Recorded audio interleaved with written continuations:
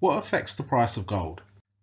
We're going to be discussing commodity price floors and how this relates to the gold market and this will need to feature the shutdown rule which is an economic theory and is very well placed when discussing commodities. When it comes to commodities there is a price floor and this basically means that if the price falls below a certain level then certain fundamental changes will happen in that market and prevent the price from falling any further. And this is all to do with the cost of production. And this is where the price floor is because if a commodity such as gold falls down in price and goes below the cost of production, then a lot of the mining companies are going to start to shut the mines. And you'll see this first in the high cost producers because depending on where the gold mine is in the world and the type of gold mine, every company will have slightly different production costs. So it will be the high cost producers that go out of business first. That will start to lead to some supply being taken out of the market. If that's not enough to abate the selling and the downtrend in the gold price, then even the low cost producers will become quite vulnerable. And if they become loss making, then what could happen is the whole supply of gold to market will collapse. And this is something called supply destruction. The shutdown rule tells us exactly how this process works.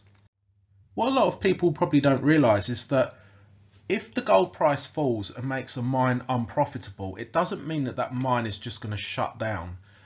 And this is the key to understanding the shutdown rule because you need to differentiate between a mine's variable costs and the fixed costs. The variable costs are the costs that will change with the level of output. And a classic example is fuel because the busier a mining operation is, the more machines are being run, the more fuel is being consumed. If you reduce your output, what you'll see is that you're using less fuel. So you've cut your cost and that is a variable cost because it changes with the level of output.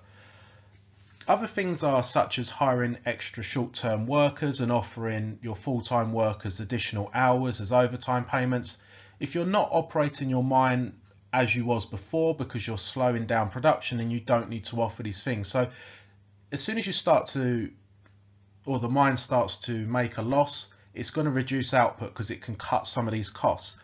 But with the fixed costs, these are things that have to be paid whether the mine is functioning or not if you close your mining operation down, you still got to pay your fixed costs. And these are things like insurance, interest payments on your debt, and also paying security to guard the assets of your mine.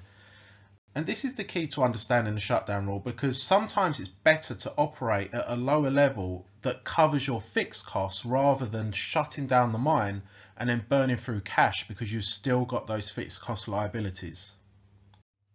So what the shutdown rule predicts is that as long as when the gold is being extracted from the ground and sold, as long as there is enough revenue coming into the company that covers their fixed costs, then they will be better off producing at a lower level.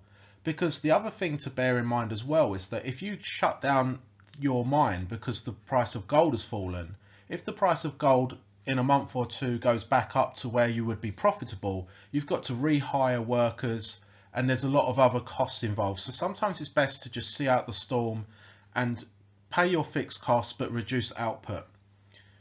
If the gold price falls below the fixed costs, then the mine will be better off shuttering operations because you are just making losses and you're better off leaving the gold in the ground.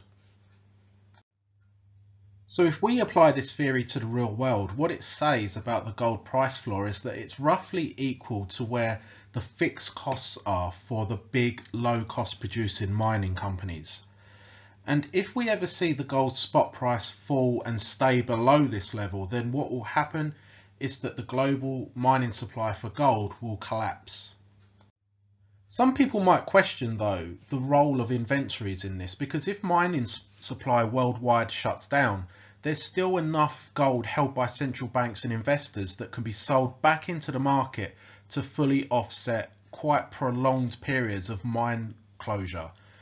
But what I would say about this is that why would investors with large gold holdings, why would they sell at a time when they know that the price of gold is so low that no one is mining it anymore?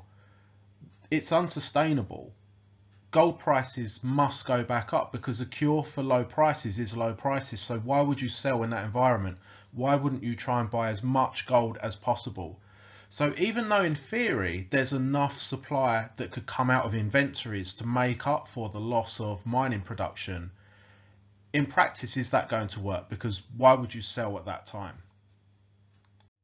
And just so we can put this into practice and have a, a rough idea of where the, the price floor for gold is at the present time, you can go through annual reports of the biggest publicly listed gold miners and they will tell you what their all-in sustaining costs are for producing gold per ounce. So in 2021, the key major gold producers had all-in sustaining costs of around 900 US dollars to 1100 US dollars per ounce. So even though the gold price is way above this, it tells us that if the price of gold fell to that level, then what you would see is that supply would start to dry up and gold would find a natural floor.